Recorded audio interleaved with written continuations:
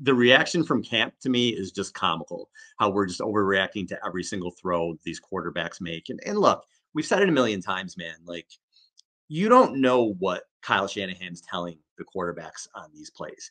He may be saying to him, um, I was listening to Middlekauff and Haberman, and John Middlekauff was saying, he Kyle may be saying to whatever, whatever, Lance, Darnold, Purdy, whoever, listen, throw the ball here. I don't care if it looks open or not. I want want to see what happens here. Try try to throw the ball here. You don't know what they're working on.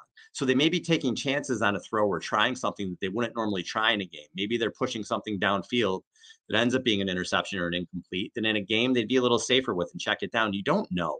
So you can't go crazy with with these completion percentages and who threw an interception where and whatever else. But one of the things that people seem to be very worried about right now, some people, um, is that Brock Purdy throws an interception every camp or, or there and abouts. So was looking at this, and here here's the thing. Okay, number one, Brock Purdy's going into his second year.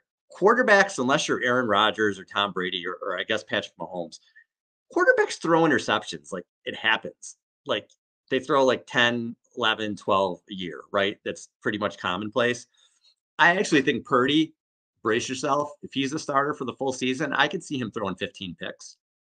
He's a young quarterback and he's playing in an offense where there has traditionally been a lot of interceptions.